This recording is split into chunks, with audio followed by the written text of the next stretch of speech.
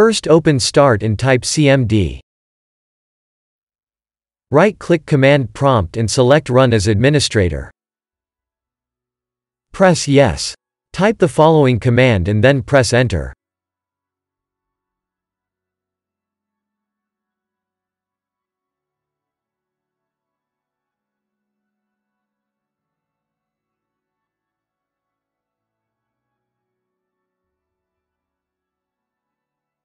Wait for Windows to be repaired.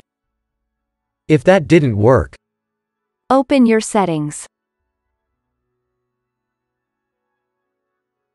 Open Update and Security.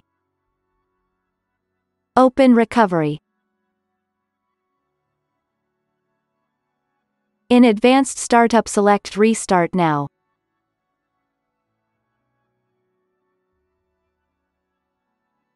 Click on Troubleshoot.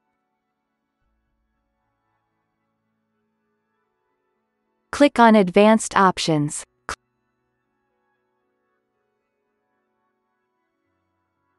Click on Startup Settings.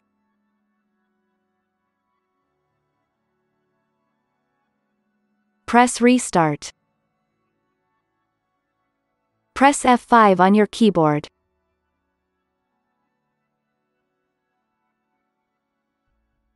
Search for Windows Memory Diagnostic.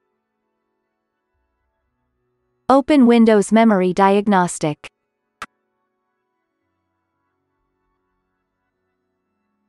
Press Restart now and check for problem.